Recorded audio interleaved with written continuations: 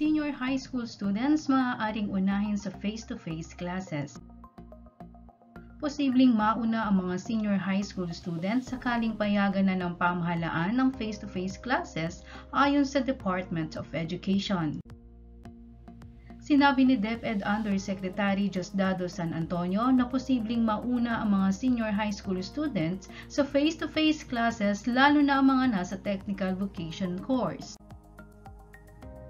Naniniwala kami na iyong mga senior high school learners, lalo na sa TechVoc, ay pwedeng maging priority, ani ni San Antonio. Binanggit din ni San Antonio na hindi naman sabay-sabay na pupunta sa paaralan ang mga mag-aaral, kundi sila ay may schedule ng kanilang pagpasok. Hindi na sila kailangan sabay-sabay na magpuntahan sa school. Stagger din iyan para mas kakaunti ang bata na nasa paaralan, wika ni San Antonio.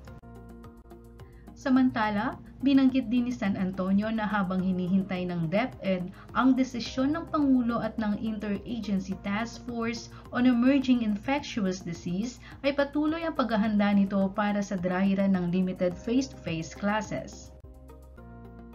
Matatandaan na hindi natuloy ang pagbubukas ng limited face-to-face classes noong Enero dahil sa banta ng bagong COVID-19 variant na pinaniniwalaan ng mga eksperto na mas nakahahawa.